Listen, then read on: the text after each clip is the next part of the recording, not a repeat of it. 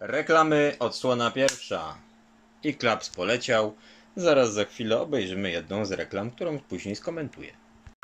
Dlaczego ten mężczyzna stojąc boso na bryle lodu wcale nie marznie, choć minęła prawie godzina? Dzieje się tak dlatego, że wkładki kiwi aluterm szczelnie chronią jego stopy przed zimnem. Warstwa spodnia, dokładnie izolującej folii aluminiowej, wygodna warstwa ze zbitej, amortyzującej pianki i delikatna wełniana warstwa wierzchnia szczelnie chronią przed chłodem. Wkładkę trzeba włożyć do buta.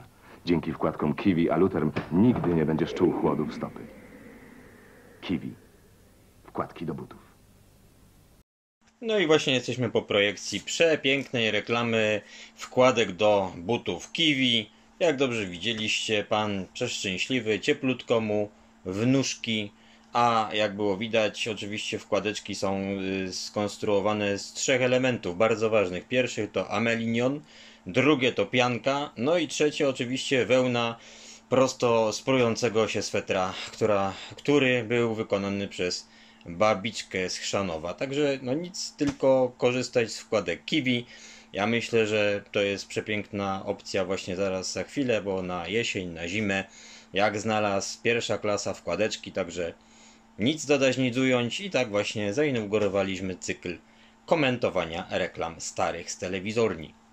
Na razie.